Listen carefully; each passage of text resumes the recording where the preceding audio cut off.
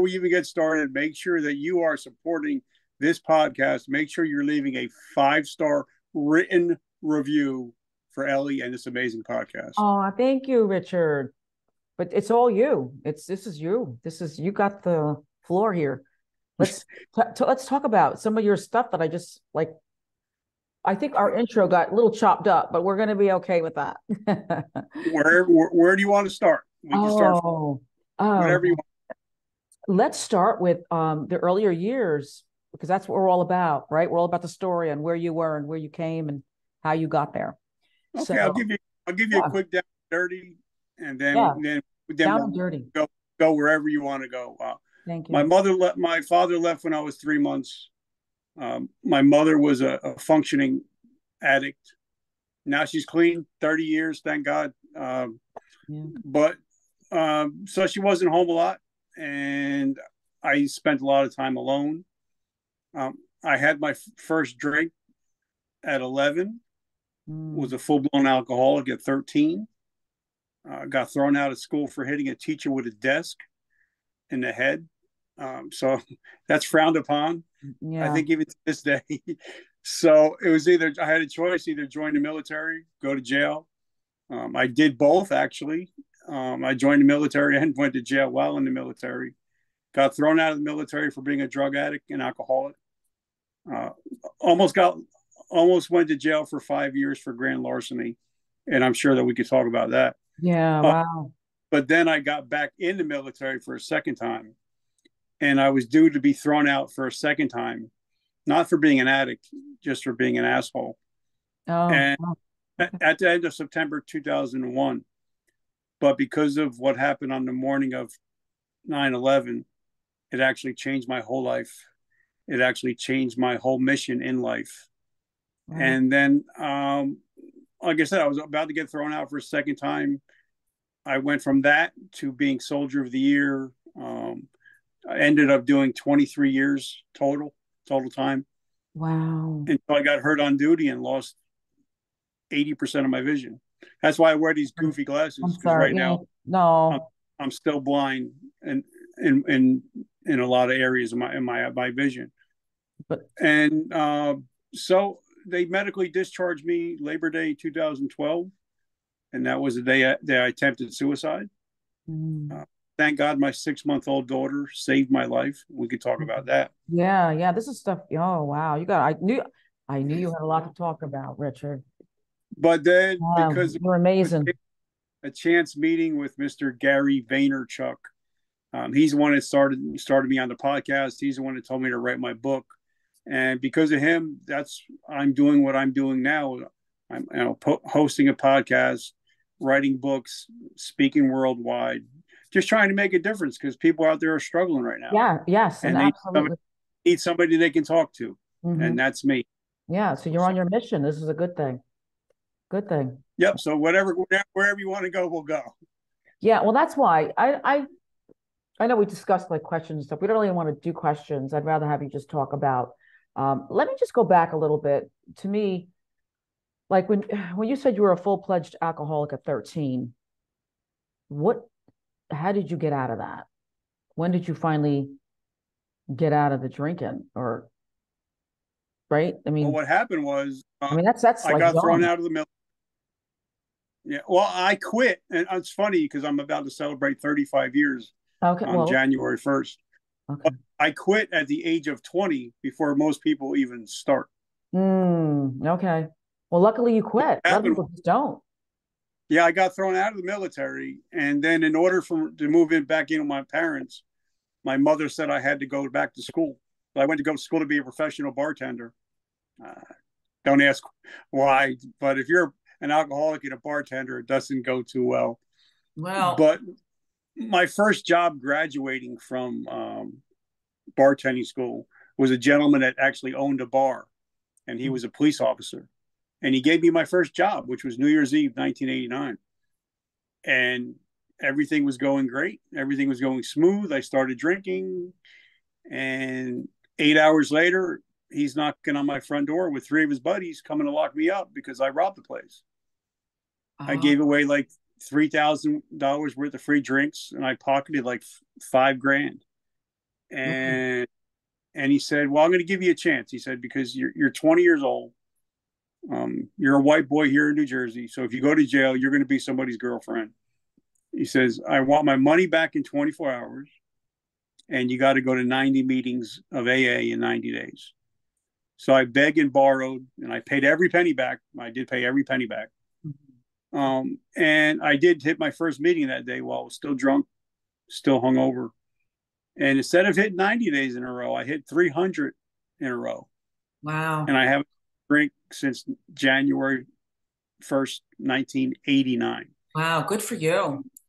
You need an applause for that one. Yes. Good, good, good job. So it was either, you know, and I wish I could remember the gentleman's name. I would buy him a steak dinner. I'd buy him whatever he wanted. He's he literally saved my life. I was going to say we could just say he was an angel, right? I mean, I don't want to get all into all that, but yeah, it's almost, you know, wow, amazing. So then you yeah. got so then you, you you got into the service, correct? You then went into the service from there. I I went back in for for a second time because as I was about to get locked up, my uncle, which I totally respected. Um, now, this gentleman, he only had like a fifth grade education. Um, he retired a multimillionaire. He was a world boxing champion of the military. And as I'm about to be locked up, and he, he bailed me out, by the way, he said, You know what? I knew you never had what it took to be a real military man. Mm-hmm. And it ate at me for months so I had to get back in the military just to prove him wrong. Yeah. And so I did everything I could, and I actually got back in to military for a second time, which is unheard of. Mm. But I actually, but I actually got back in the military. Um, but I went back in. Now, there's a difference for your listeners. There's a difference between being dry and being sober.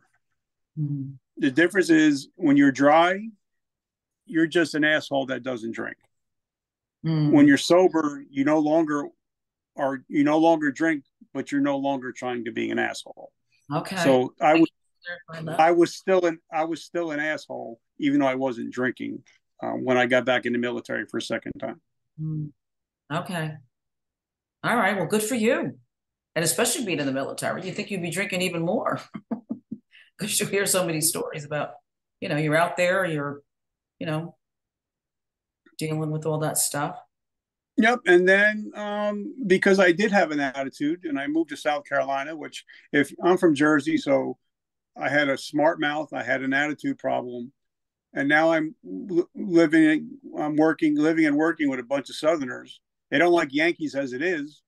Wait, should, I don't know if we should go there. so put, wait a minute. I, I'm, I'm, the, I'm in the same boat. I'm a northerner and I, I'm now in Florida. And yeah, I feel like I'm tiptoeing at times because as soon as you open your mouth, they're like, and I have to like remember that, listen, the war ended a long time ago. it's like, we're good. We're good. You know, we're peace. It's peace, peace time. Yeah. Yeah. Funny you said that. You know, I got in a lot of trouble because of my mouth and I was going to I was due to get thrown out again again at the end of September, but because of what happened at 8:47 on Tuesday, September 11th, my whole world changed. Hmm. When you say it changed, um, can you go like talk a little bit about what ch- what changed on that day for you? What made you?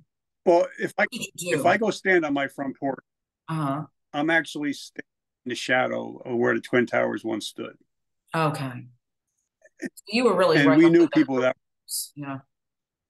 Yeah, we knew people that were in the buildings that day. And what hit me hard is because when if you remember at that time when around 847, 848 until about 9 a.m., there was no editing. It was 100% live. Mm. And you could hear the bodies hitting the concrete you actually hear the, the bodies mm. hitting. Oh my and, gosh. And what really hit me is when the Pentagon got hit and they were pulling so, servicemen's bodies out of the Pentagon. Mm-hmm. And here I am, as I'm watching the TV, all my stuff that I got to turn back in because I'm being thrown out for a second time is to the right of the TV. So mm-hmm. here I'm thinking, you know, these these servicemen and women and these people in the buildings all they did is go to work. All they did is try to provide for their families. Mm. Now they're not coming home anymore. No. And that's when I decided, I, I actually literally, and I wrote about this in my book. I, I literally cried out to the Lord. I said, Lord, you know, give me another chance. Um, I, I promise you, if you give me another chance, I'm going to dedicate the rest of my life to helping others that can't help themselves. Hmm. And that's what I, and then from that moment on is when my whole life changed, when I stopped being about me to now it's about helping other people. Beautiful. That nice. are. So you're on your mission. Beautiful. Very nice. Yeah. Yeah. Thank you, Richard, yep. for that story. That's um pretty intense. I actually was talking to a gentleman last night um, at an event, and it about the 9/11. He was in. He was in the. He was a serviceman. He was there in in the Twin Towers and was trapped. I think he's at the seventh floor for hours. And when he finally got out, he was young, he was like 20 years old. He went home, and his mom had thought he had passed away because they told him that. And his mother looks at him like, "What are you doing here?" But can you imagine, you know, the feeling too on something like that. So when you hear these stories, and then you today talking about it again, but like, oh my God, it was truly horrible, horrible time. Yep. But, uh, and that, that was the one, and that was the one part of my story. And then after getting hurt on duty and losing my vision and losing my career, that that's a whole different animal. And that's that was like I said, that was the day that I attempted suicide. Hmm. And you said your six month old daughter helped you with that, right? You said it wasn't for well, your. What happened was because you know, being up north, you know, being on 95 or being on the turnpike or on the parkway, yeah. everything is concrete, both sides. Yeah. So I figured, you know, um, because they, they told me, I knew it was coming, but they told me, you're no longer Sergeant Kaufman. Mm. Well, for 23 years, my whole life has been Sergeant Kaufman. Yeah. Now, who am I? Who's Richard? Because I don't know who Richard is. Mm. I know who Sergeant Kaufman is, but I don't know who Richard is. Mm. And it scared me because I felt like I failed my country. I failed my wife. I failed my kids. Mm. So I, I, can't take it. I'm, I'm, I'm going to, you know, just end it all. So I mm-hmm. call my wife. I was supposed to meet her down the shore. I'm like, honey, I'm on my way. I'll see you in a little bit. I knew I wasn't going to see her again. I knew I was never going to see my wife again. Oh I knew I was never going to see my baby daughter or my mm-hmm. two sons ever again. And I mm-hmm. told them I loved them. Um, and my my goal was I just bought a brand new truck, Dodge Ram 1500. So my goal was, you know what, I'm going to get the truck up to 100 miles an hour, put it on cruise, turn the radio up, shut my eyes, eventually I'm going to hit something. I'm going to hit a concrete barrier, and that's going to be a wrap. So I did that. I got the truck up to 100 and oh. shut my eyes, turned the radio on, and I don't know why country music was on. I not a big, I wasn't a big country fan. Um, and I could, I I put cruise control on, sat back, and shut my eyes, and I could just feel the truck moving. Oh my! I could God. feel it. So, so, this is like I felt it creeping. It was creeping over. And you know, on the side of the highways, you have the little, the little, the little lights. That makes the noise. yeah, yeah. Yeah. I forgot. and I, I heard they started clicking because I knew I'm, I'm, moments away from ending it. And then a song called um, "I Saw God Today" oh. by George Strait came on. Wow. And it talks about a man seeing his newborn baby daughter for the first time and it hit me. It, I could see my, I can actually see me because I was the first one to ever hold my daughter. I was the first one to ever change her diaper, and um, and I was like, at that moment, is when I decided, all right, I don't want to die anymore. Oh, thank God. I want to be a daddy. I want to be a daddy. I want to be a husband. So I, I, I pulled over on the side of the road, called my wife, and, and I told her what happened and um, and this was Labor Day, so there was nobody in in in, in psychologist offices. But I told her, I said, listen, if I don't get hurt help on Tuesday, I'm actually going to go home and, and put the weapon in my mouth. I'm going to pull the trigger. And she said, I got you. We're going to get you the help you need. So I, I, I went that Tuesday and I, and I started therapy and I've been seeing the same therapist for 11 years. And that's when I realized there's other people out there like me struggling. Mm-hmm. And if I can be the voice for that person, if I can let them know that it's okay not to be okay, and you don't have to end it, you don't have to end your life because, you know, suicide is a permanent solution to a temporary problem. And it's huge. It's a big problem. It's a big problem. But most people and a lot of your story. They don't. They can't. They don't live to tell your story. So and people yes. don't realize that you know when you end you end when you commit suicide, you end your suffering, but theirs is just starting. Right. So right. you're just transferring pain onto the rest of your family. Terrible. Mm-hmm. That's why I'm out telling my story and you know trying to help people say it's okay not to be okay, and we're gonna make it. Mm. You know, and, I tell you, you can kill yourself any day you want, just not today. Hmm. Wow, what an amazing story, Richard. That is wild. And thank God your wife, your support, and you know, yes, because it's like that you came to the right time, and there's people that maybe felt like they don't have that, and that's what's sad. So that's you're here now telling your story, which is an amazing story. And uh wow, I didn't know that story, but that is and my, and my bride is my everything. She's my best friend. Um, she known me for 37 years, so she's still the most beautiful girl in the world to me. Yeah, wow. You got this is what this is love, right? We're not getting into that, but this is this is what it's all about. Staying yeah. together, thick and thin, and getting through all this. So you took yeah. all of the story what happened in your life and you transformed this into a book, correct? Yep, it's, it's called a hero's a hero's journey from darkness to light. It's on it's on um, Amazon. It's it's actually somebody was actually talking about even making it into a movie. I was going to say that. You haven't thought about uh, But the book is on Kindle. You can get it on Kindle. The price is ten ninety seven, and I make zero dollars off it. Mm. Everything I make goes to help people struggling with PTSD and homelessness. So I don't make any money off of it on purpose. And that was something that me and Gary Vaynerchuk put together. So everything I do, whether it's my t-shirts, whether it's my coffee, whether it's my hats, whatever it's whatever it is, everything goes to help others and not for me at all. So okay. Very nice you, Richard. Wow. What a story. It's like amazing, amazing what you did and what you've become today. So you're like, a, I'm a, but I'm a work, I'm a work in progress. Progress, you know. Oh, we you know, but I mean, you, you know, people say, you know, okay, you know, you, you know, you, you have a beautiful wife, which I do. You got beautiful children. You live in a beautiful home. You got best-selling books, top podcast. But I still struggle. You know, there's some days where I'll, I'll put on my Facebook page, listen, guys, I'm not feeling good today. I need your help and I'll, I need your support. And I realize no matter how big I get, I'm always going to be that one guy that's going to be like, I'm struggling. So if you're struggling, call me. We could struggle together. Because I and I tell everybody, I would rather hear your bullshit than your eulogy. Right. Well, that's where we come up with not to turn it around to this, but story time. We need stories.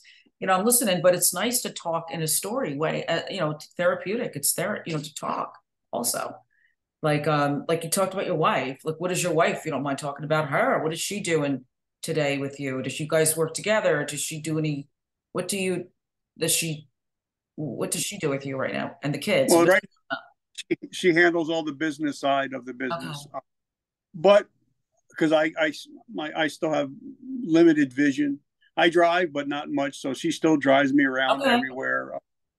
You know she literally has my blind side so whenever she walks on the side that I can't see, like when we went to go see Disney on Ice last night, it was kind of dark, so she had to you know, hold my hand to guide me. Yeah, wow, you know? beautiful. So, so she literally, you know, she literally has my blind side, and I know she's got my back. Yeah, beautiful. You're lucky you have that too. And your children are grown I, now. I, yeah, we can. Yeah. I, I 21 year old more credit. got a 21 year old boy, I got a 19 year old boy, and I got 11 year old daughter. So I, am totally, totally blessed. Mm, beautiful, nice. Good to hear. So, do you have any other? I really don't have any questions for you because you said we don't do any questions. So I'm kind of like a little stumped, but your story's fabulous. It's like amazing. And the thing is, like your book and your podcast, are you um do you do many of your own or you just mostly guest? Because I tried Google a little bit. Or you're doing your own? Well, I do most. Well, I I do a video every single day. I I do a oh. sixty video every day, yeah. and because that I, I I'm on like like I'm on think on I'm on twenty two different social media platforms. Let's talk about that. My, I want to talk this about you. Let's talk about you. Yeah, let's talk about your podcast too. What you're doing with that. But my my podcast, it's it's more interview style because I already know what I know, mm-hmm. but I don't know what they know.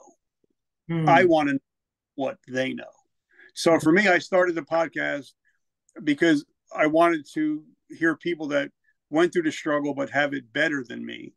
And then it transformed into now I have millionaires, billionaires, authors, athletes, doctors. Correct. So now, like, I can't afford to sit in front of a guy that has a $20 billion company. I can't afford to go sit with him for an hour and a half, but I can have him come sit on my show and I can ask him whatever I want for an hour right. and a half. I agree. I agree with that. There's power in podcast. so and, if I don't, if I don't know about, like, I didn't know anything about crypto. So I went to the number one guy in crypto in the world and I had him on the show. Right. So now if I know something and I want to know something, I'm going to invite somebody that's at the top of their game on my show so I can learn from the yeah. best. Well, I, and I think that's what we try to do. We try to hear the stories of what we want our listeners to hear and be aware of also and to make it interesting. And I that's why I said when I heard your story, I'm like, oh, this man's got an amazing story, inspirational. And that's what we need. You know, and I tell everybody, you know, I didn't even graduate to ninth grade. I'm a ninth grade dropout. Mm. Um, but I've read over 6,000 books mm. and I've had over 1,100 interviews. Right. Yeah. No, this and I can sit, yeah. You know, and I can sit and I can sit. I've sat and talked with millionaires, billionaires, uh, presidents. I've sat and talked with um, pastors and preachers. I can sit and talk with anybody and most of it's because I'm self-taught and I'm I'm a big learner. I love I love to learn and I love stories. Yes, because even this in the Bible, he taught in stories. He taught in parable parables. Mm-hmm. So people will learn more from a story Absolutely. than if you just tell. Yes, and that's why I love your show, and I and I've been binge listening to all your episodes because no. I love the stories. I, love, I appreciate it. I get Getting that from you. You get, you get involved in the stories. You know, it's not just somebody teaching you something. It's you're you're getting involved in the stories, and you can put it in your mind like a movie. And that's yeah. why I love podcasts. Yeah, I agree. I agree, and it's um, and it feels good to know that you have that there are people to come forth also and tell their stories. There's some there's some people are a little reluctant. I have you know a couple other podcast shows I was trying to get going, on relationships. And there's a lot of people that are still hiding and still scared to talk about their personal relationships, even though, you know, they want to, but they're afraid to talk about it to people. So it's like, and I mean, there's some good stories, you know, there's some really good stories. I'm like, oh my God, you know how much you could help somebody if you could just, like, you know, and you know what's going on over there, you know what's going on over there. And if you can just talk and, you know, I even told one girl we could block out the screen. We don't have to have your face you know, I mean, that's how, you know, I don't have to tell you, you know, because you're there and you're like, oh my God, these stories are like, could really help people. And people don't realize what they're doing when they talk on a podcast. Look what you're doing. It's totally inspirational. And it's getting people awareness and seeing what you went through, saying, man, if he went through all that, I know I can do it. Right. And that's what this is hopefully is what well, we're trying. The thing is, you know, everybody, no matter who you are, we're all struggling with something. Exactly. Yeah. Like I had, I had the authors of Rich Dad Poor Dad come on the show, mm-hmm. and Sharon Lechter, and she was on the show, and a lot of people know her as the, the, co-author of Rich Dad Poor Dad, but a lot of people don't know that, you know, her her son took his own life, and he was a Marine. Mm, right. A lot of people, a lot of people know John Lee Dumas of, you know, the number one of the top podcasters in the world. but they don't realize that you know he lo- he was a uh, he was in the military, and he was a leader that lost the tank crew in Iraq. Mm. He was a uh, suicide. He was suicidal and had mental health issues. Yeah. See, this is, so this, all, yeah. You know, we're all dealing with the same stuff. Well, that's what I say. We're not we're not untouchable. We, and I always say we all have a, we all have a turn at the wheel. You know, we're all going to have a turn because people will look at you and think, "Oh, you've got this and you're that and you're perfect." No, we all had battles and we all had to walk through fire. We all, for the most part, most of us have in one way or the other. And I have another woman I'm going to be bringing on a podcast who's never been on a podcast ever in her life, but I happen to know her life. And it took me a good five, well, I'm going to say six years. And she will come on the podcast and she will open up on her life. Again, amazing what she went through growing up with a mother that was a crackhead and what happened to her. And the state actually had to take her over. I mean, her story is intense and she wouldn't talk about it. You know what? Now she will. So, and it's all through stories. And in fact, she's the one that gave me my name, Story Time with Ellie, before, because I used to always talk with her a lot over the years. Just call me. She's, oh, this is Story Time with Ellie. I need my therapy and blah, blah, blah. But it's important that you take it one step further and talk to people about what you're going through and what you're feeling because you can it's a narrative therapy too as you know when you talk it helps people you know therapeutic. But and I've had people because they call me the GI Joe Rogan or the male Oprah that I've uh-huh. actually had people come on the show and, and I tell them, listen, you come on my show, there's no editing. Whatever you say, you say. And I've actually had my friend Paul came on, and he actually, the first time ever, admitted that he was sexually molested by a priest for 10 years. Yeah. And from that story now he's going out speaking to churches and, and schools right. that he was molested but it, it, took somebody like me and you to bring it out. Yeah it's people know it's okay. Yeah it's okay. and you know what? I tell people too and even with business because i'm involved with a lot of businesses now too. I'm starting to get them to talk a little bit about you know your local business right you're you go into your local business you go pick up your pizza or whatever you get, and and you look at these people, and I'm not the only one because I've, I've been in a lot of businesses myself, and I know people judge, and they'll say, "Oh, look how lucky they have it," you know. Oh, look at that! Look at that business. My place is. You don't know the battles or the fires that that person went through to get where they had to go. So that's kind of what I've been doing now too. I've been reaching out to a lot of business owners and trying to get them to come on, and and it's amazing. And like I said, we're just kind of wrapping that together, what they had to go through as well. And you look at the business in a whole different light you know, you look at it like, wow, you know, the food is good, but now you're looking at it like, I don't want to say pity, but you look at things, you look through a different lens when you see what people have gone through, right? It sheds a different light on them.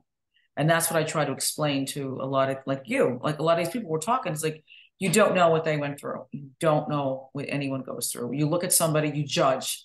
People will judge, like, oh, you know, or they're lucky. No, you don't know. You don't know. And and as i say everybody has a story. And some are you know and you shake your head. the more success the more successful you get the lonelier it gets. Because once you're a ceo cfo there's nobody below you to talk to. You're it I and agree. if you're it and you have nobody to, do, you know you're not going to last very long no, and I agree with that statement very much so, because then people look at you differently as well. Like, oh, they're that, or they own this, and they're that. And you're like, I still, you know, I cut, I still gonna bleed the same color blood you do. You know, we're not, you know, we're human, but no, people do look at you in a different, in a different way. And they shouldn't. You know, they they do, but they should not. Because they don't know. And I always say you don't know that you're not in their shoes, you don't know where they walked, you don't know how they walked and that's a big thing too with that's kind of why with the podcast let's hopefully we could you know keep bringing these people out and getting them to talk to inspire other people you know and i and i coach you know i'm a high level coach so i i actually coach a lot of ceos and athletes and authors and i tell them i'm like listen what good is it to have the house to have the boat mm-hmm. have the jet ski and then go home and eat at the kitchen table alone. Mm-hmm. What good is to have everything if and in the end you'll have nothing. So right. that's why I try to people, you know, it's all about relationships.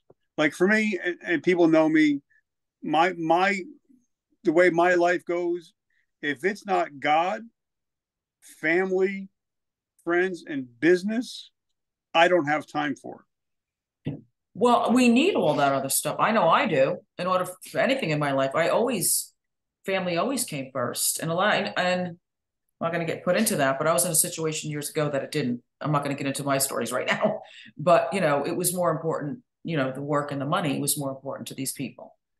But it, you know, it affected my life, but in a better way, because I chose not to take that route. It was a little bit harder in the beginning, but you know, it. And you know, and that same uncle that died a multimillionaire, I, I was sitting by his pool when he was he was dying, and he said, "You know what? I got all this money, and I can't buy a single day." Mm-hmm. I and something, and yeah. something that Gary Vaynerchuk told me when we had lunch. He said, "You know what? Your legacy will always be more valuable than your currency." Uh, so for me, everything well I do said. now, well everything I do is legacy now. You know. Mm-hmm. Well said. Wow. So come on, what anything else, Richard, we need to cover? I don't even know. Well, I just want to, you know, because this T-shirt that I wear every day. Yeah, yeah. Every... Let's talk about your T-shirt. Let's talk about that. Today, I decide. And what that means is, I'm a big Joel Osteen guy, and I love Joel. I and met him. I got to meet him.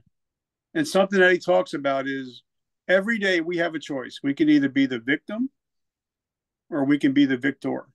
Hmm. So every day we wake up, our life is made by the sum of our choices. Wherever you're going to be in five years are going to be because of the choices that you made today.